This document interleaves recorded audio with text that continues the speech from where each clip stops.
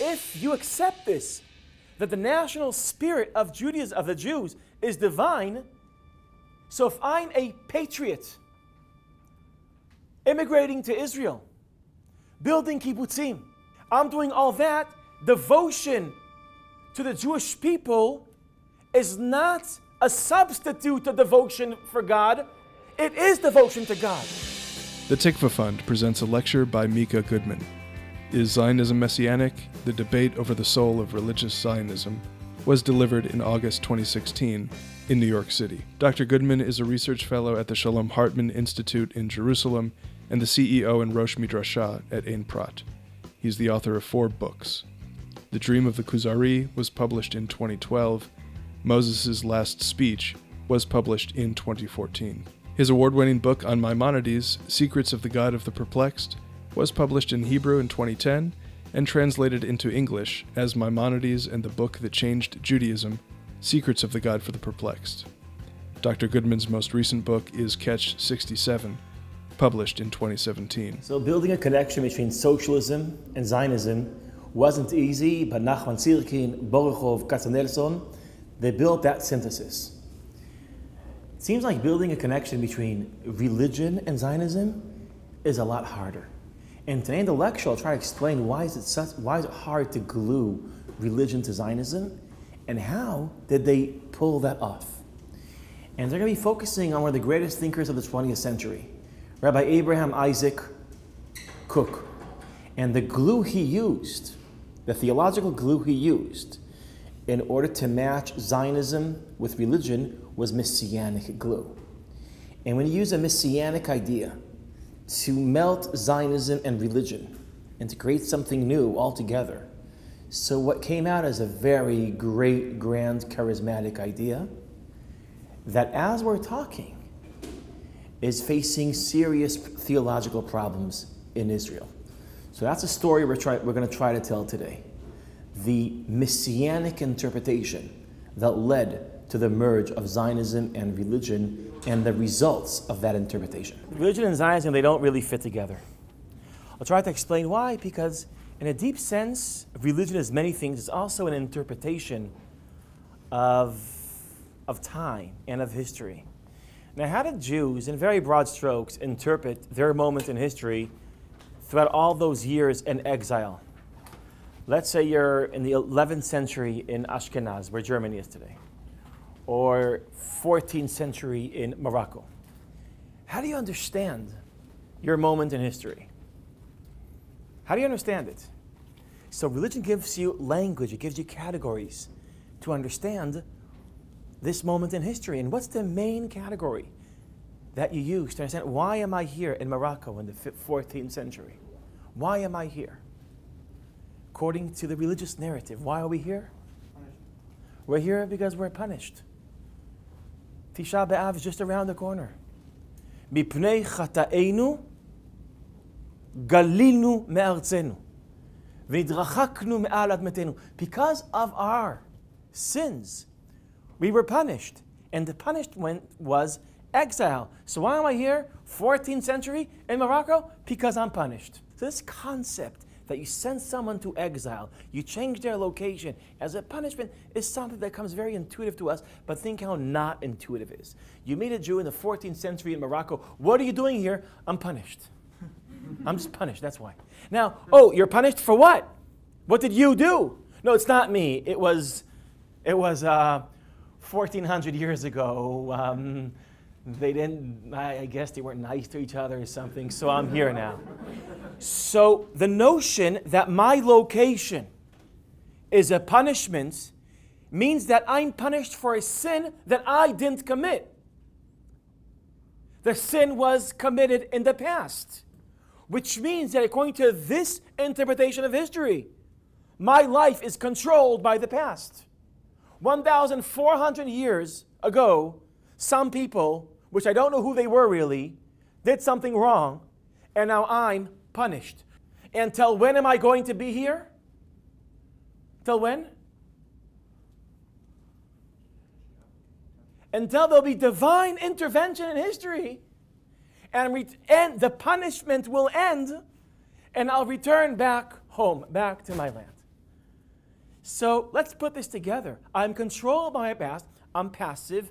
I am waiting for it to end. I don't know when it will end. Rabbis always speculate when it will end using all these ways to speculate. By the way, they always get it wrong. It's not, we don't know when the punishment is going to end. And the only way to end it is by just really wanting it to end. There's nothing you can do. It's divine intervention that will end it.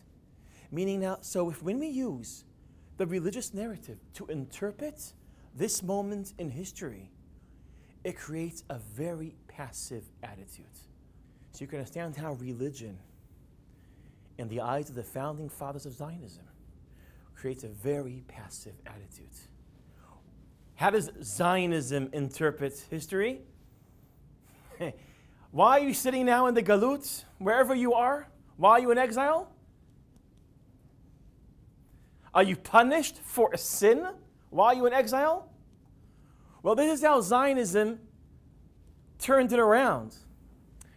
According to the classical Zionist narrative, let's say Berdichevsky, which we've used yesterday, it's not that I'm in exile as a punishment for a sin, but the fact that I'm in exile, that is the sin.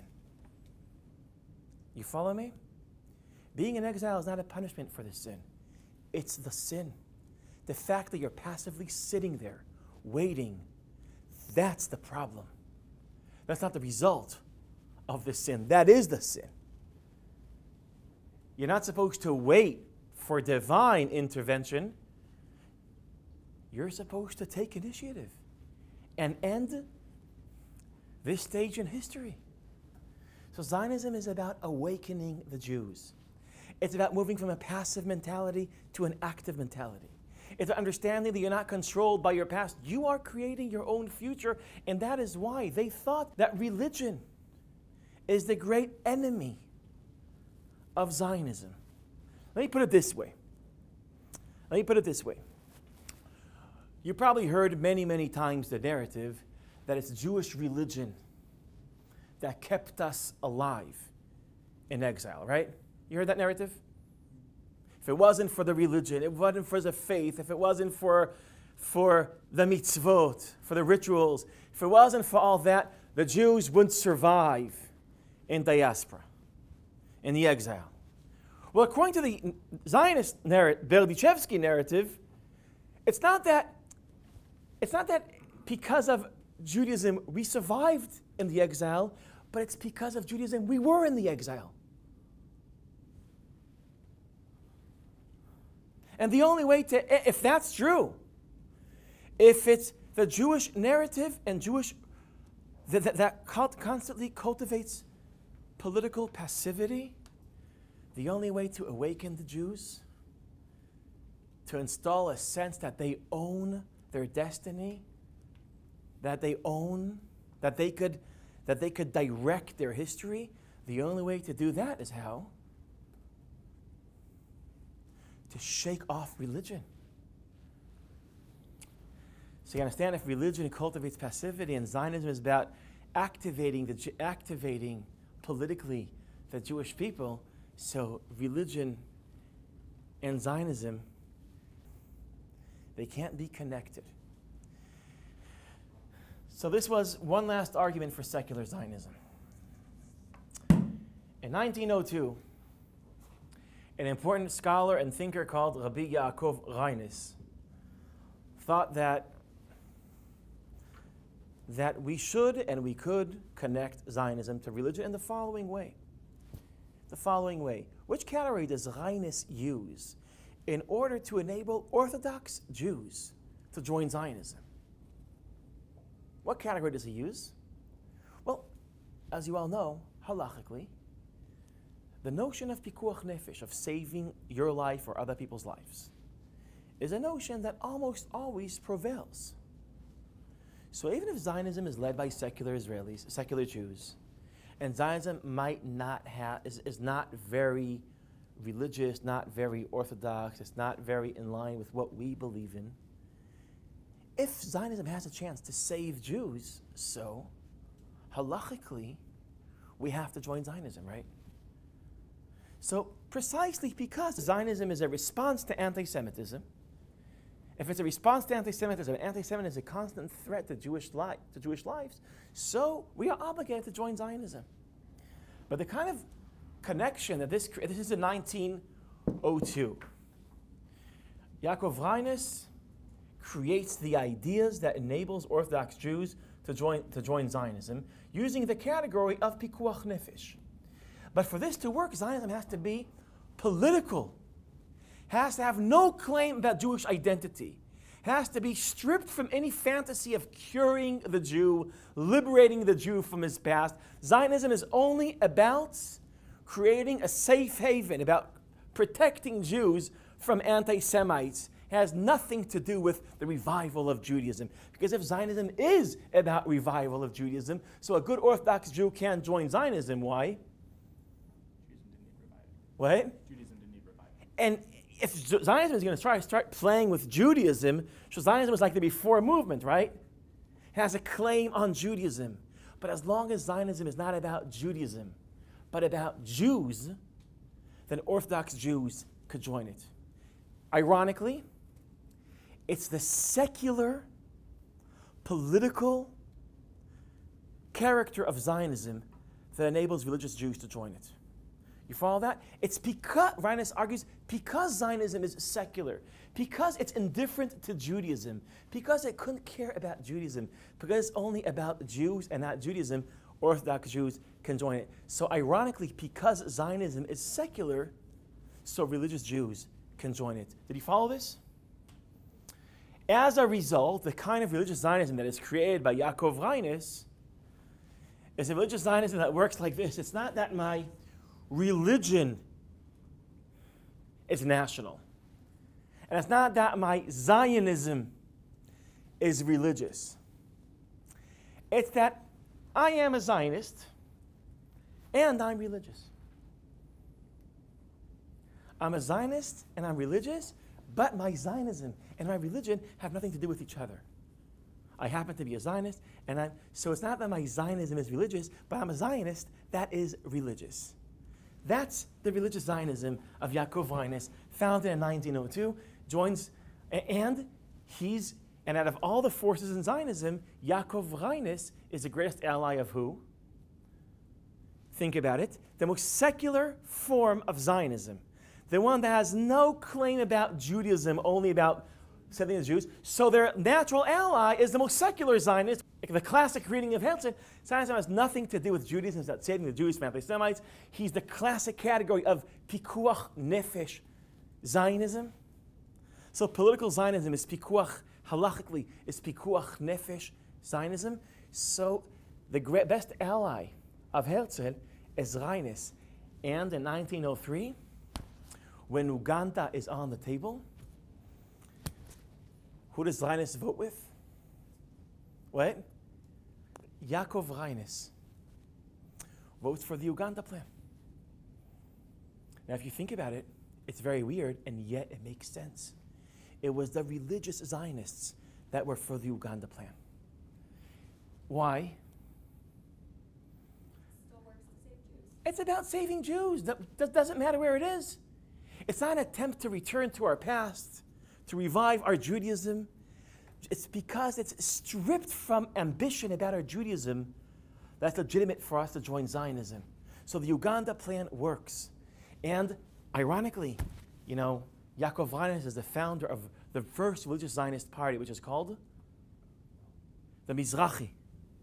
The Mizrahi is a party that later on will merge with another party called Hapoel HaMizrahi and will create the Miflaga Datit Leumit called Mafdal. Later on, the Mafdal will turn into the Bayit Yehudi, which will later turn into Naftali Bennett. so if you think about it, it took 100 years.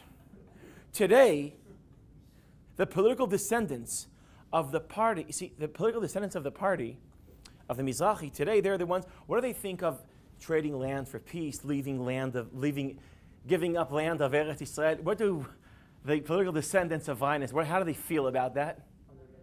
What? Under no circumstances, not one inch. Now think of the irony, think of the irony that today Religious Zionism is not not giving up one inch of Eretz Israel, but the starting point, they weren't willing to give up an inch of Eretz Israel. They were willing to give up Eretz Israel. Now the question is, what happened? How did they move from a willingness to give up everything to a reality where you can't give up nothing? This has a lot to do with a story I'm going to try to tell, tell you today. Now, this kind of religious Zionism, Zionism, I want to call it religious Zionism, the model of coexistence, where I'm religious, I'm a Zionist, and they're, they're, these two elements of my identity are living with each other in coexistence, but they're not really connected to each other. They can't be. This model was a dominant model in Israel for religious Zionists from the foundation of the Mizrahi, 1902, until the 1970s. This was a dominant identity for religious Zionists. Not the only one, but a dominant one. I mean, most of them maybe didn't really learn Yaakov Reines. They couldn't articulate it. But this is how many religious Zionists experience their identity, their dual identity. I'm a religious, I'm a Zionist. My Zionism is not very religious, and my religion is not nationalistic. And, but in the turn of the 20th century, there was another rabbi, another great thinker, probably the greatest Jewish thinker uh, in the 20th century, that had an alternative way of thinking of religious Zionism, a radical alternative. His name was Rav Kook, Rav Avraham Yitzchak Cohen Kook. And his understanding was that Zionism and religion, they're not living together in one identity and coexistence, but they are different aspects of the same thing itself. Our religion is nationalistic, and my Zionism is religion. And the way he, and, and the category, one of the categories that he used to explain this connection was the category of geula, of redemption. Let me try to explain. I'll do my best to explain how he, how he understood this. If Judaism, throughout the generations, cultivates an expectation one day things will change, one day redemption will come. So, what's supposed to happen? What's the great plan? What's supposed to happen one day? According to the classic Jewish narrative, how is history going to end? How is everything going to come together in the end? How is all our misery going to be balanced with the glory of the end of days? How is this going to happen? How is this play, be played out? So the prophets of Israel, Isaiah, Yechezkel, Yirmiyahu, Amos, they all repeated different aspects of the same grand divine plan. And what's the plan? How's it going to happen? What's supposed to happen? How is history going to, how is exile going to end? How is everything going to work out? What's the grand plan as echoed by the prophets and echoed again in the Talmud in, in Perek Chelek and Masechet Sanhedrin? What's the grand plan? How's it going to happen? Very simply put, all the prophets, the prophets, what do they say? They say one day the people of Israel will return to the land of Israel. And another take on the prophets, the people of Israel will return to the God of Israel.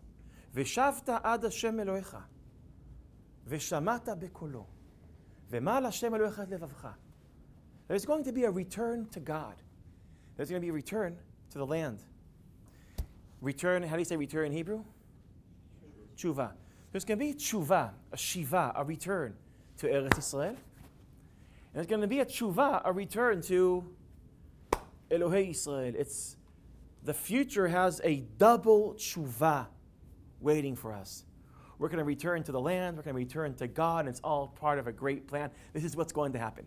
Okay. Now we're in the end of the 19th century. And the Jewish people wake up and build a national awareness. And there's the Aliyah Rishonah and the Aliyah Shniya and World War I and Balfour Declaration and the Aliyah Shlishit. And it seems like the plan is starting to implement itself. The people of Israel from all exiles, from all corners of earth, are waking up and they are all returning to Eretz Israel.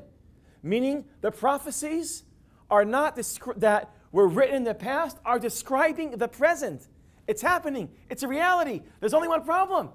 The people that are leading the return to Eretz Israel, They themselves, what are they doing? They're rejecting the God of Israel.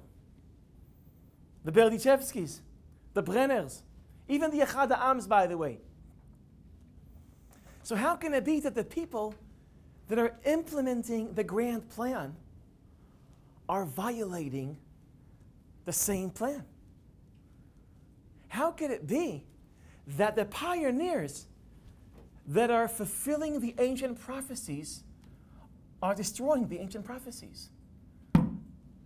See, this is a pro- if when we use religion to interpret history, when it comes to Zionism, the result is a paradox. Because the tshuva to Eretz Israel is not led by people who are returning to the God of Israel, but it's led by people who are rebelling against the God of Israel. And ironically, the people that are devoted to the God of Israel, what are they doing? They're not involved in the return to the land of Israel. So how do you so how do we deal with this reality? And the Rav Kook, what part of the work of the Rav Kook is to explain this conflict, this tension. So what Rav Kook, Rav Kook offered an interpretation of secularism. And in so many layers and so many aspects, Rav Kook's theology is an attempt to interpret secularism. Now, before I say this, I want to say one thing about interpreting history. According to the Rav Kook, the role of the tzaddikim, of the, of the uh, mystics of every generation, is not only to interpret sacred texts, it's also to interpret sacred history. Now, I think you all know what does it mean when a mystic interprets the sacred text? How does a mystic interpret the sacred text? It's the assumption that the, um, the pshat, the most transparent layer of the text, is not the only layer of meaning in the text. Many times, it's only,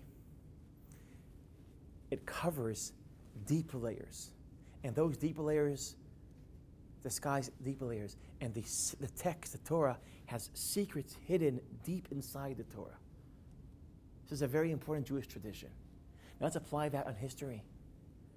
The events you see there, the pshat, the events of history, that's the their transparent meaning is not their only meaning. Behind the transparent meaning, there's more meaning, and behind the more meaning, there's the secrets of history. And the role of the mystic is not only to expose the secrets of the sacred text, his role is also to expose the secret of sacred events of history. So imagine you have to now interpret history and find the secrets behind the events. And this is the role of the Rav Kook, the way he that's how he understood his role to be the grand interpreter of history, to explain to all of us that seems that, that things are not the way they seem to be. That beyond the events there's always more. There's always a secret. There's always a hidden message. And the most important event that Rav Kook had to interpret as a mystic and to expose there's more than meets the eye is the process of secularization. How do you explain the paradox of secular Zionism. The movement returning, fulfilling the divine plan is the movement violating the divine plan. How do you explain that? And according to Rav Kook, secularism is a movement of tshuva. the rebellion against God is an attempt to return to God, is a result of an unconscious yearning for God.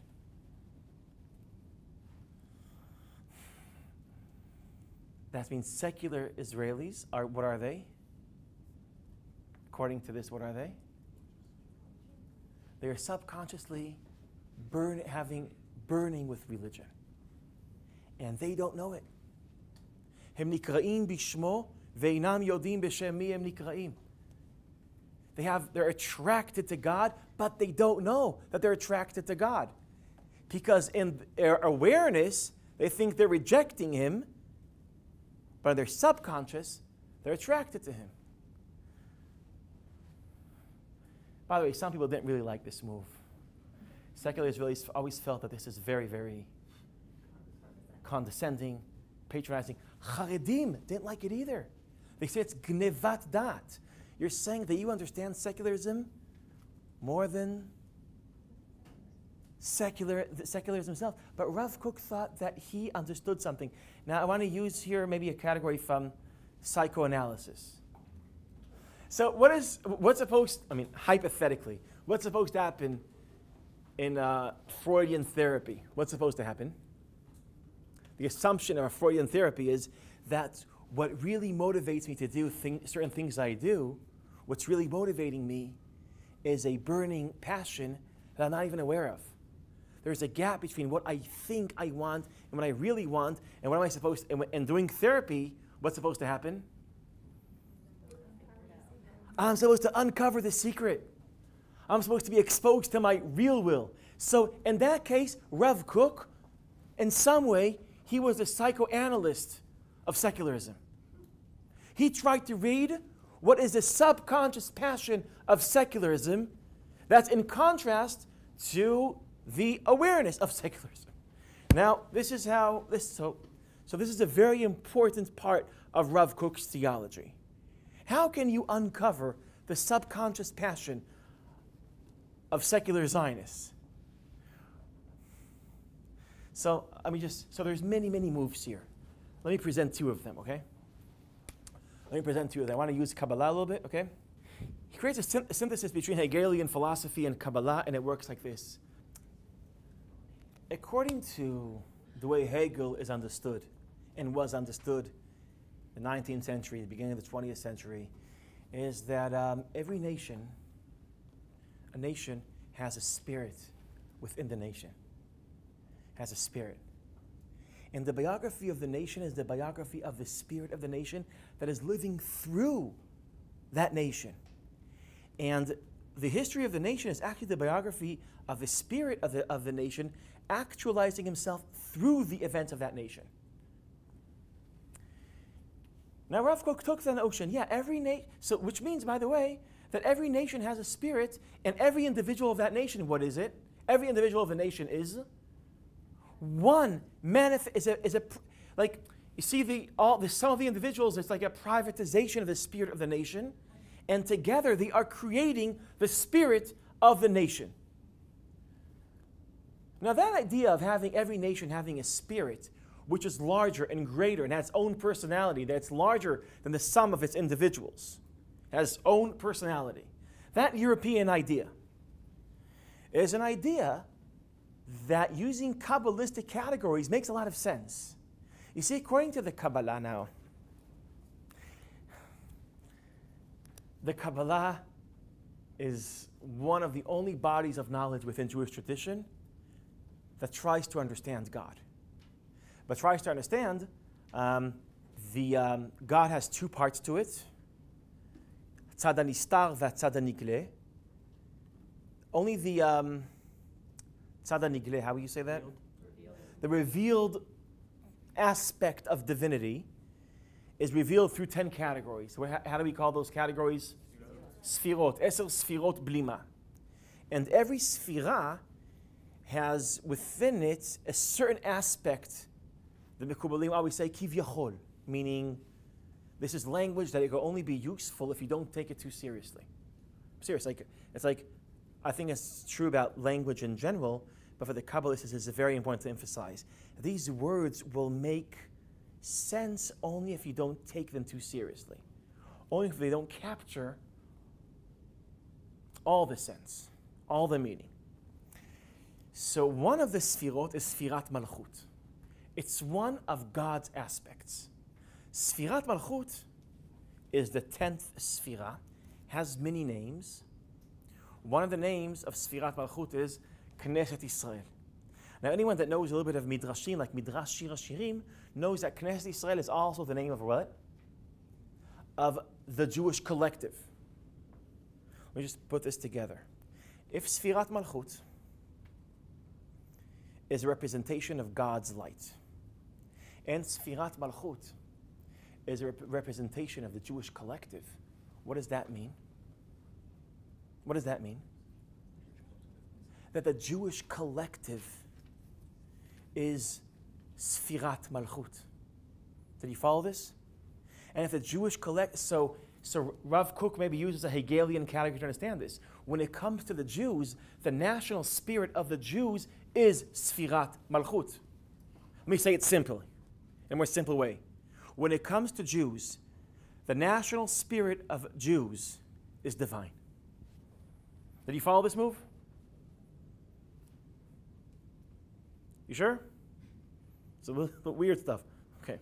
So the national spirit of Jews is divine. Now, if you accept this, that the national spirit of Judaism, of the Jews, is divine, so if I'm a patriot, immigrating to Israel, building kibbutzim, giving my life to the Jewish people, going to the army, fighting in the army, trying to speak in the language of the Jewish spirit in Hebrew. I'm doing all that devotion to the Jewish people is not a substitute to devotion for God. What is it? It is devotion to God. Let me say this again. If the spirit of the Jewish collective is Sfirat Malchut, I'm using now the Kabbalistic tradition to establish, I'm the Rav Kook now. I use the Kabbalistic tradition to establish that that the spirit of the Jewish nation is divine, so, secu- so secular Zionists that decide that they're devoting their lives to the Jewish nation, they are devoting their life. Because the, Jew- the spirit of the Jewish nation is divine, they are effectively devoting their lives to God. So now let's think about so I'm a Zionist and I'm secular. What does that mean? That I'm replacing religion with nationalism. But mystically speaking, you can't replace religion with nationalism because when you turn your back to God you're saying, I'm not religious, and instead of national, what are you doing? By doing that, you're serving God. But you think that your national awareness, your national passion, is a replacement for your religious devotion. Okay, that's what you think. That's what you think. But anyone that studied Razei Torah, says Rav Kook, the secrets of the Torah, can know that subconsciously your devotion to Am Israel, to the, to the, to the people of Israel, is a devotion to Elohei Israel. Subconsciously, you're rebelling against God, and subconsciously, you're returning to God. You see, once the spirit of the nation of Israel is divine, you can't really separate between an act of patriotism and an act of religious devotion because any act of patriotism is an act of religious devotion. After I do this Kabbalistic move, I can't separate my Zionism from my religion because my Zionism is my religion. My devotion to the people is not separate from my relationship with God. My devotion to the people is a part of my relationship with God.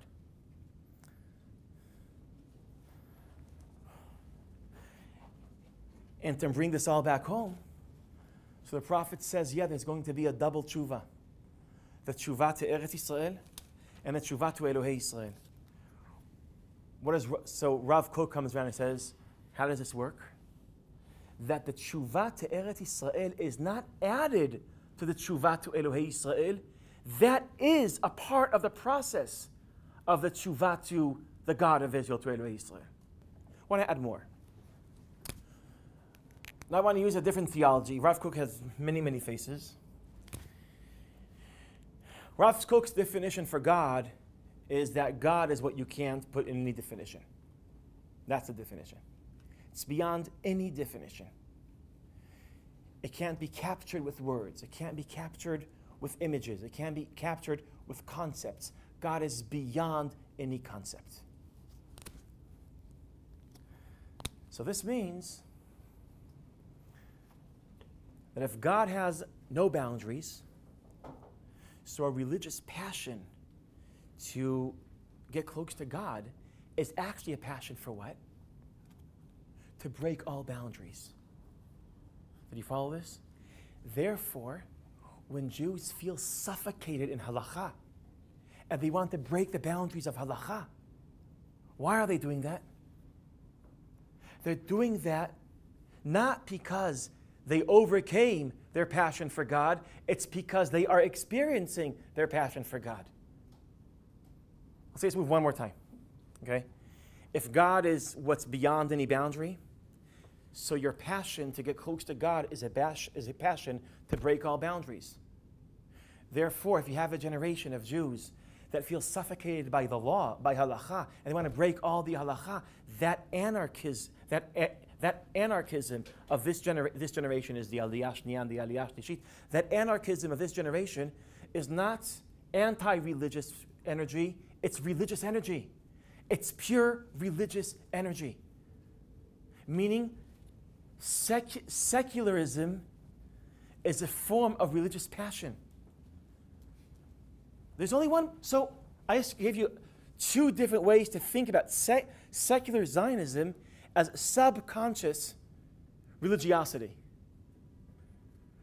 where the suffocation of halacha comes from religious passion. Nationalism is a manifestation of religious passion. The only people that, that, that, don't know that what really motivates them is a religious motivation is secular Jews. So if that's the case, what's the difference between a religious Jew and a secular Jew? What's the only difference? Self-awareness.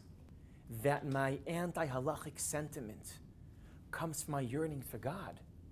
When that will be exposed, we'll have to start reading. There'll be a new interpretation for halacha. This is also part of, it'll be a, what Rav Kook calls a prophetic interpretation of halacha. We're moving to Bait Rishon, to prophecy, not Bait Sheni, wisdom. So you see, everything works out. It's all in harmony, right? everything works out. The return to the land is not, is not, and the return to God is not different. It's the same process. Secular Zionism is subconsciously the greatest form of religious Zionism. In Al Pilei Tohar, in a great work of Rav Kook, he writes, הנפש של פושעי ישראל היא היותר גבוהה מנפשם של שלומי אמוני ישראל. It's unbelievable that an Orthodox rabbi says this. That the soul of the sinners of Israel comes from a higher place than the soul of Shlomei Munei Israel, the frum Orthodox rabbis. Because think, uh, just, just let's put this together. If the spirit of our nation is divine, what is a Galut Jew in that case? A Jew that doesn't do anything to promote redemption, that's not doing anything active to save other Jews, that's not coming to Israel, not speaking the national language, not going to the army, not building communities, not strengthening the nation. So that use Rav Kook's Kabbalistic categories to explain that Jew. What is he or she? There's something less religious about them. The more religious are less religious, and the less religious are more religious. Now, maybe if, if we understand these categories, we can understand the following amazing line. Rav Kook's son, the Rav Tzivla, used to say that a soldier wearing the, um, his uniform, those uniforms are holy and sacred, like the uniform of the high priest in Yom Kippur. Now that sounds crazy, but if you use these categories, why does a high priest in Yom Kippur wear his uniform? Serve to serve God. When you go to the army wearing that uniform, what are you doing? By serving the Jewish people in light of the deification of the spirit of the Jewish people, you are serving God. So we have two models of religious Zionism the coexistence model and this very radical united theory where my Zionism and my religion are all, both aspects of the same thing. That my, by, by my national devotion is religious devotion. It's not something added to it. It's the same thing. So the Talmud says that the Messiah will come, Obador Shekulo Zakai, Obador Shekulo Chayav. Either in, in, a generation that everyone is righteous or that everyone is sinner. So if you, want, if you really want the Messiah to come, if you get all the Jews in the world to be sinners, then he will come. or the alternative is to get all the Jews in the world to obey the mitzvot. Choose your path. now, so Rav Kook writes in 1900, Mamar Ador, I think in 1905 or 1906, he writes, Dorenu dor nifla. This generation, the second Aliyah, 1905. Dorenu dor nifla. It's an amazing generation. Dor shekuloti mahon. It's, an, it's a nation that, it's a generation that leaves you perplexed. And he says, Hukulo zakai, hukulo chayav. So the Talmud said that the, that the Messiah will come either a generation where everyone is zakai or a generation that's chayav. And Rav Kook says this generation is at the same time kulo zakai, kulo chayav. Because everyone here is sinners and everyone is righteous at the same time. Because if you follow what I said, the act of sinning is itself, itself an act of righteousness. And an act of righteousness of me obeying halacha that makes me passive here in the galut, that's an act of righteousness. And it's an act of sinning. I think what Rav Kook did, he took the Hasidic notion that everything has a divine spark in it, and he uses that, but he implies that notion on modern ideologies, saying socialism, socialism has something sacred in it. Nationalism has something sacred in it. Secularism has something s- sacred in it. And our role is to bring everything back to its source. So I would say, yeah, this is a third take on Rav Kook. It's a third take, a Hasidic take on Rav Kook. And so I think Rav Kook, yes, he would say exactly. A ballet can be empty from holiness, but with watch, observing the ballet with the right set of eyes, it's filled with holiness. So I guess subconsciously, I, I presented three different interpretations of Rav, uh, takes on the Rav Kook. The Kabbalistic one, meaning seeing the Jewish people as the spirit of the Jewish people as divine, and therefore devo- national devotion is religious devotion. That was one move. The second move is that um, if God is beyond boundaries, so kirvat Elohim, the passion to get close to God, is experienced as a passion to break all boundaries, and that's why negation of halacha could come not from from rejection of religion, but as a expression of religious passion. And my third take is that Rav Kook is a Chassid. His role, he, he's implying what the Chassidut did in the 18th century to the ideologies of the 19th century and the 20th century. I want to take this conversation to Rav Kook's son. These thoughts, which are hard to comprehend, hard to understand, Rav Kook thought that this kind of theology is going to work. He's coming to Palestine, to a land where Jews don't get along with each other, because the Yeshuva Yashan, who are the Yeshuva Yashan? Ultra Orthodox Jews. They are, ironically, the most galut Jews live in Eretz Israel. And the reason, and so the most, so the people from the Aliyah Shniyah come to escape galut, and they meet the most, the, the most galut Jew here in Palestine. Here is in Palestine, obviously. And their conflict, the Yeshuva Yashan, think that the Yeshuva, you see, there is a theology expressed in the Midrash and Nachmanides that the entire Torah is only meant to be kept in Eretz Israel. All the halacha, it only works in the land of Israel. So why are you supposed to obey halacha outside of Israel? So you won't forget it when we return.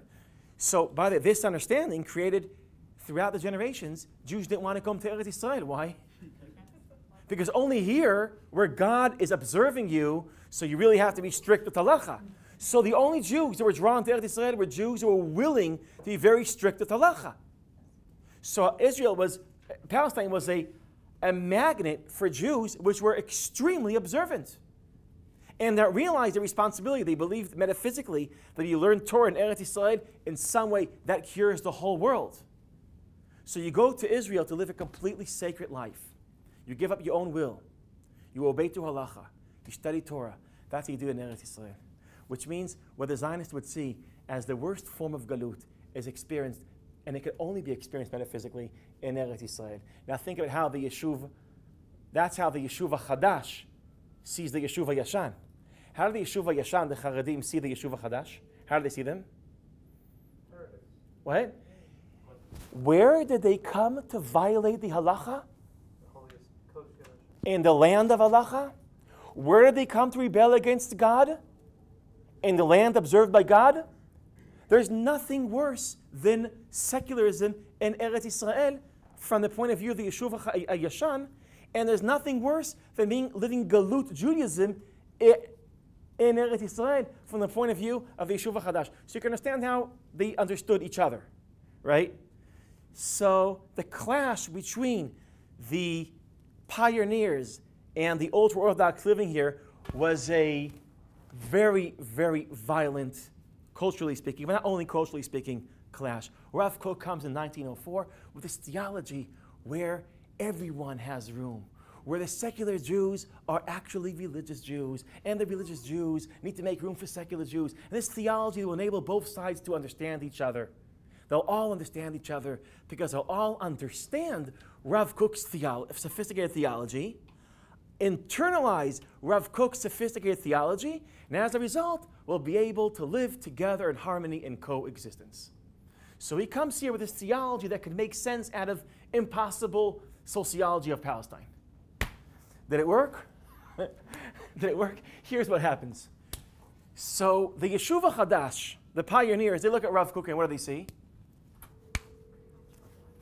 They see an ultra Orthodox Jew, which all his halacha, halachic um, ps, uh, psikot, or ultra Orthodox. He's a halachic Jew. We have, and he's ultra Orthodox. So they, they didn't want, they, they were against him. The ultra Orthodox Jews, many of them read his writings where he glorifies secular Judaism and secular Jews. And they would have nothing to do with him. So he came here to create a theology that will, that will connect to everyone what actually happened was that he himself found himself isolated from both tribes, from both camps. He dies in 1935, where his theology didn't make a difference in Palestine. And by the way, oh, and religious Zionism, they admired him, but they did not internalize his theology. He himself was not a member of the Mizrachi. He was not a member of Nakiva. He was not a part of religious Zionism. He dies in 1935, where the dominant, in 1935, when the dominant theology of religious Zionism is the coexistence one. This coexistence theology created a tribe of religious Zionists that were suffering from very deep sense of inferiority complex. Why would they, they feel inferior? Inferior towards who? Religious Zionists always felt that they're less religious than the Haredim. And they always felt that they're less Zionists than the Chilonim. It's a double inferiority complex. And as a result, religious Zionists, when they felt real Torah, is in the Haredi yeshivot, real rabbis or Haredi rabbis. Real Zionists are in secular kibbutzim. Real Zionists are secular Jews. They felt like Nebechs. We're not really Israelis. We're not really religious. We're like somewhere in the middle. And it was a very not charming, charismatic tribe. The Rhinist theology created a lot of inferiority in the hearts of minds of religious Zionists. Yosef Burg, one of the leaders of political, of religious Zionism, was asked once, Matem yoter, tzionut or datit? And he answered with a Yiddish accent, Anachnu hamakaf. we are the, um, the dash, the hyphen. We're like, you know, you know, it was a very Nebuchish identity. In the 1970s, something happens. The 1970s, religious Zionism started changing their theology. They move from a Reines theology to a Kookian theology. Now, when Kookian theology kicks in, and they start understanding their religious Zionism not as I'm also religious, I'm also a Zionist, but my Zionism is passionately religious.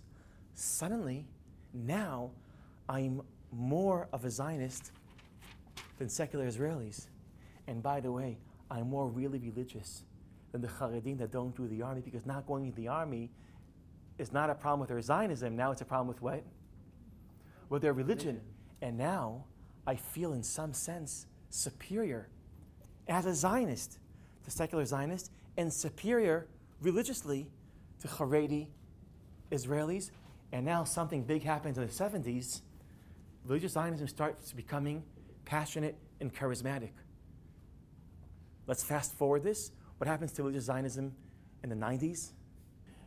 Let's say this is the 21st century, okay? This represents Zionism. Zionism led mostly by who? By the triple synthesis of secularism, Zionism, and socialism. This idea is the dominant idea of Zionism until when?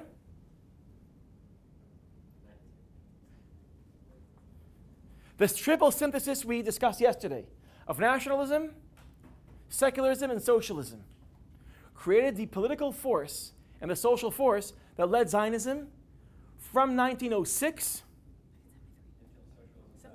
until 73 was a blow, 70, was a military blow, 77 a political blow. In the 70s, it starts shaking.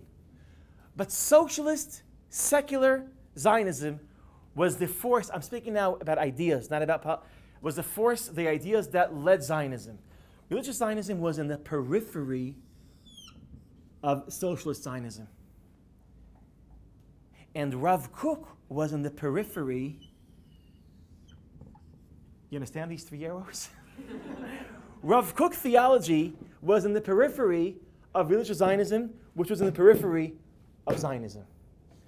In the 1970s, Rav Kook Zionism becomes moved from the periphery of religious Zionism to the center of religious Zionism. As a result, religious Zionism are now loaded with new energy, and they start, as a result, to find their way towards the center of Zionism itself. Some think that they're going to lead Zionism. So if Mapai is the engine of the train of Zionism, the religious Zionists are what? What is a caboose? The last one. The last one. Okay, so the was they're the mashgiach, they're the mashgiach kashrut. they're the um, they're the uh, kosher supervisors. Now the question is, some people in Israel feel like it's very possible that in the 21st century what's going to happen? They're going to replace the katar, the engine. I'm a skeptic about that, but what we do see a story about a powerful idea where Rav Kook's theology dies in 1935 and his ideas in the periphery of religious Zionism. In the 1970s, it moves from the periphery to the center of religious Zionism, radically changing religious Zionism. And now this new idea that liberates you from the double inferiority complex creates pride, passion, and charisma and leads this tribe towards the center of Zionism itself.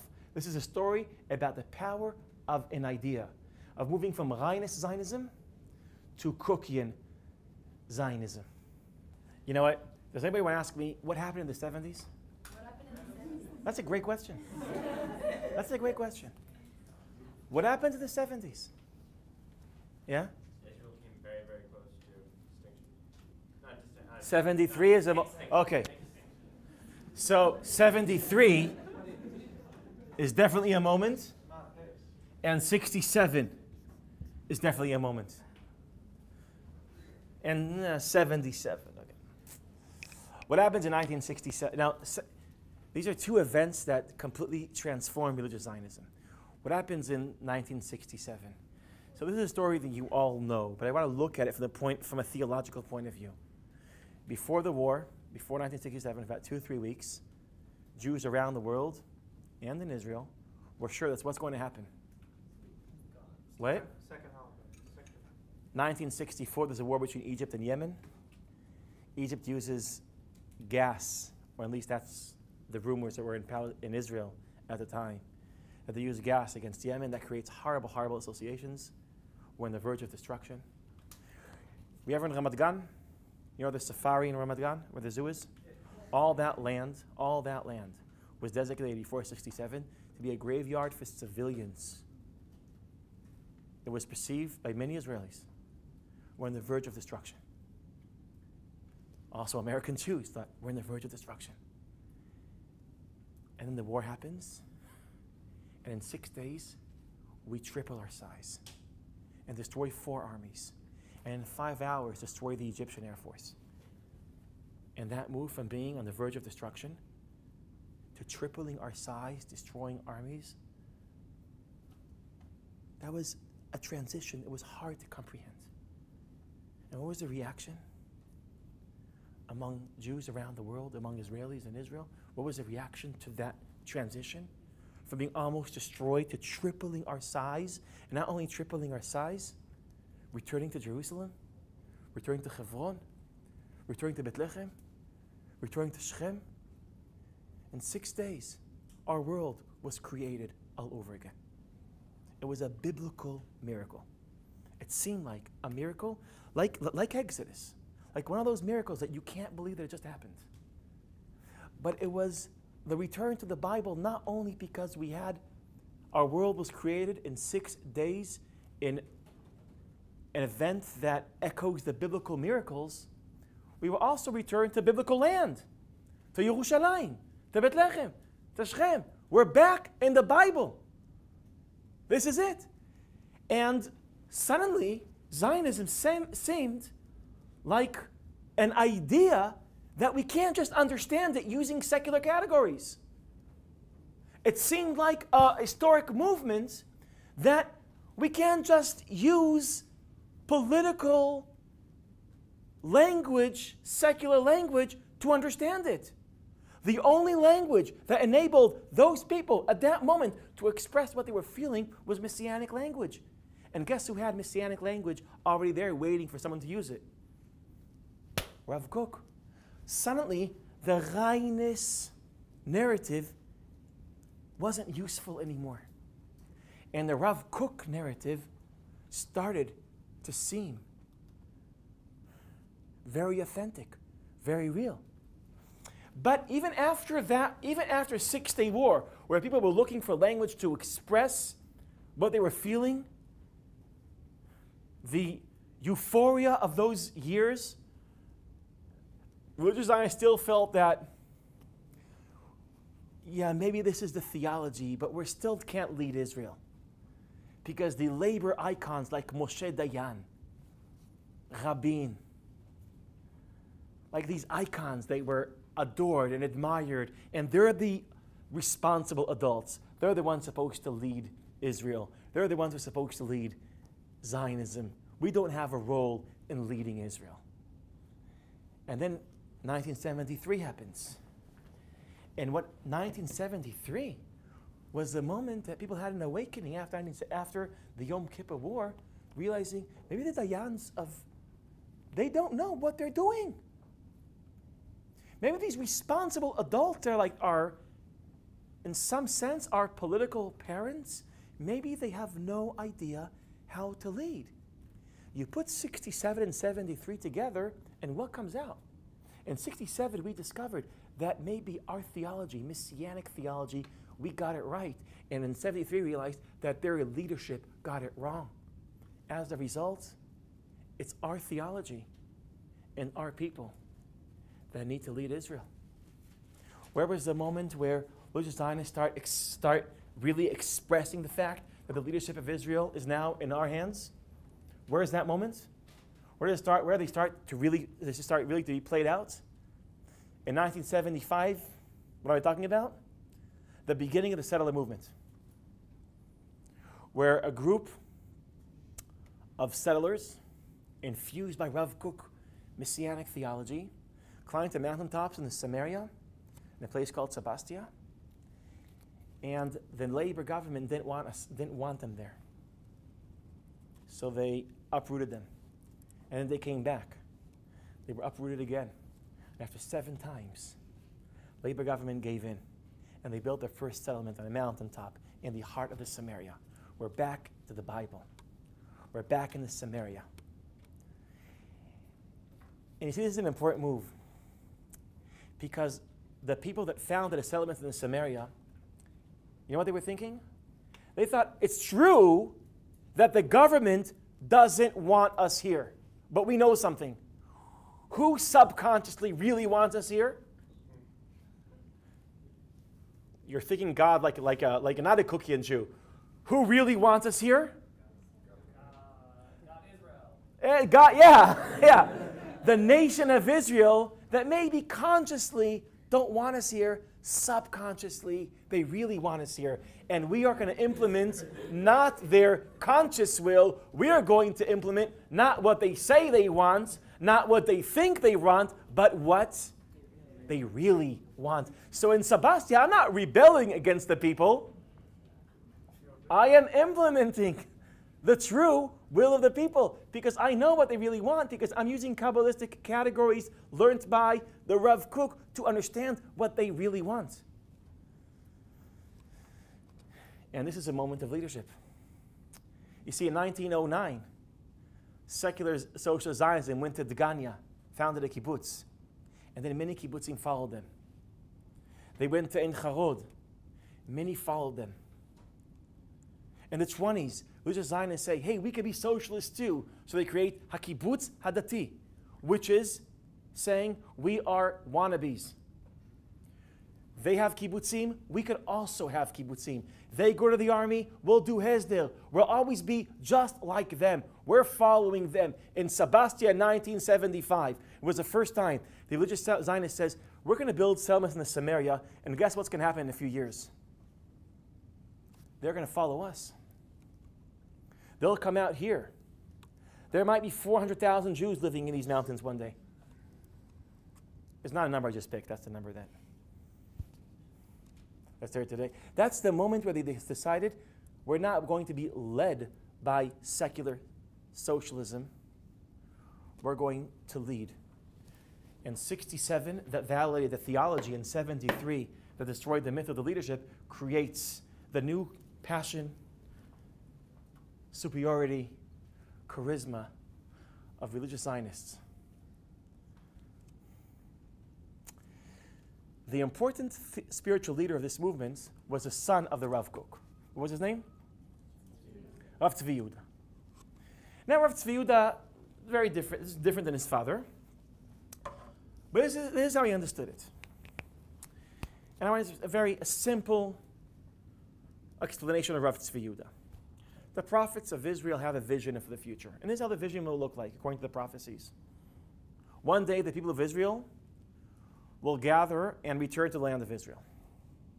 Then they will build settlements in Israel and revive the ancient mountains of Samaria. This actually says in the Bible. Then they will, the way Rav interprets it, their, their sovereignty will expand and expand. Later on, the next stages of the messianic process will continue.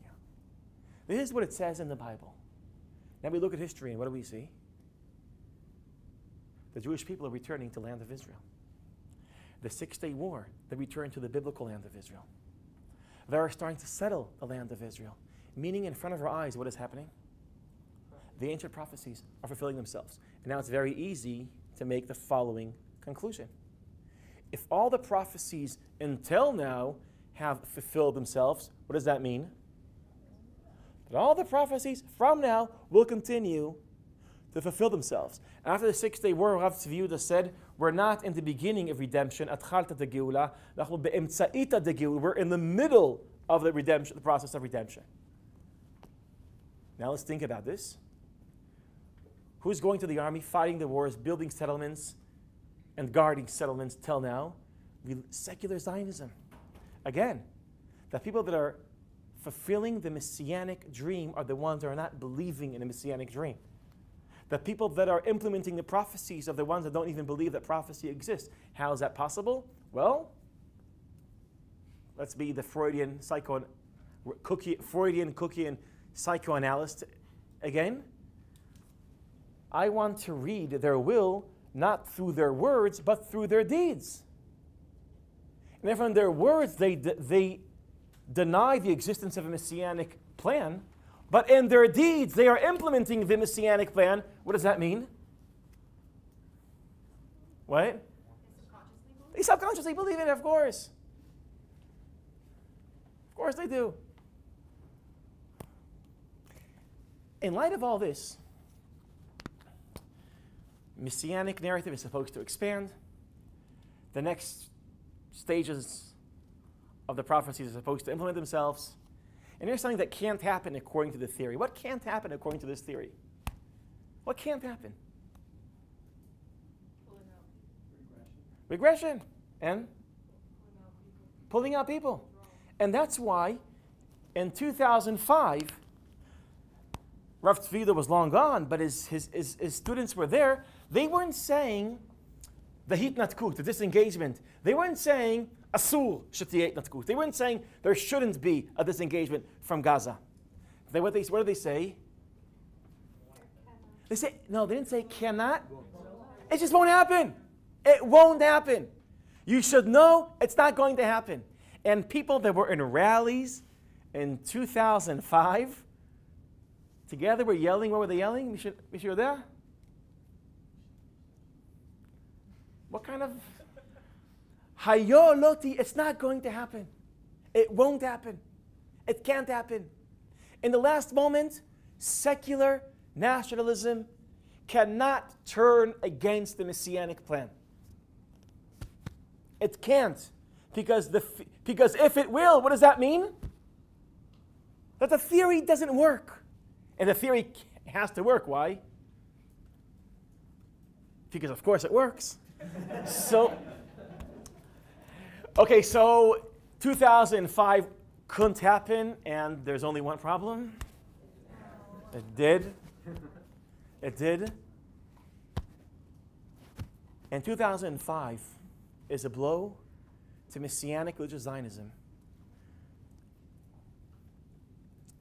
2000, the disengagement from Gaza and the fact that maybe, see, according to the theory, this is what's supposed to happen. Na- secular nationalism, what's supposed to happen is that nationalism is religiosity disguised. So what will happen is that nationalism will transform secularism and turn into religious. What really happened? That secularism transformed nationalism. And it became less national, liberal, individualist. It's not that nationalism changed secularism, it's that secularism changed nationalism. The theory of Rav Kook and his son doesn't work. The evacuation of Gaza is for Messianic Zionism, what the privatization of the kibbutz is for socialist Zionism. It's, these are events that can't happen in theory, and when they happen, they shake the idea. They're shaking the theory. Religious Zionism, there was an idea in the periphery of religious Zionism, and religious Zionism was the periphery of Zionism. In the 1970s, this idea moved from the periphery to the center. Religious Zionism is trying to move to the center. And right when they almost got there, events happened that were a blow to the idea. Today, religious Zionism has a lot of energy. But how do we glue religion and Zionism? The Zionist model doesn't work. The messianic glue doesn't work for many. This is a crisis. It's not a, social, it's not a sociological crisis. It's a crisis of an idea. It's when an idea seems not to work. Religious Zionism in Israel has turning into a very powerful force in Israel. But it's facing a crisis. It's not a sociological crisis, it's a crisis in its ideas. Some of its ideas, I think, are breaking down. And what I tried to show today is an alternative religious Zionism. A religious Zionism that works not, not using a, a messianic category, but using other categories. As I try to explain, maybe religious what makes religious Zionism make sense is not the interpretation of Zionism as a part of a messianic plan. But maybe what gives religious value to Zionism is the opportunity that is presented in front of Judaism just by the fact that we're not in galut, we're not in exile anymore. So, as opposed to a Zionism that has religious value because of it's a part of a messianic process, I presented a Zionism that has religious value because Judaism has a great chance to prevail in circumstances where we're not in exile.